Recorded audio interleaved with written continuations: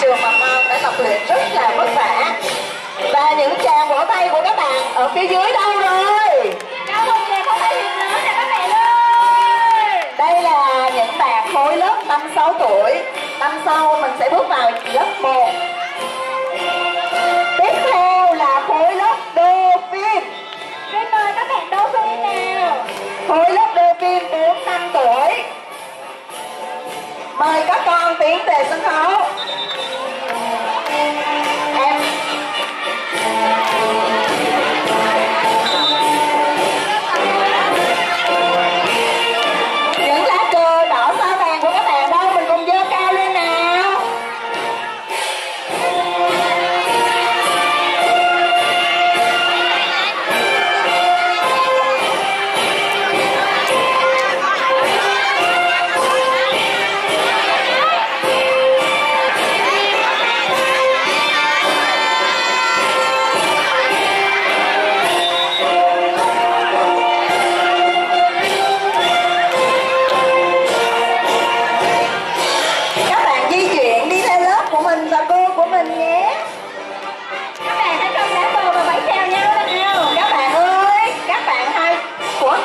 trường ơi, mình hãy cùng giao lưu bằng cách là mình hãy giơ cao lá cờ của mình lên nào.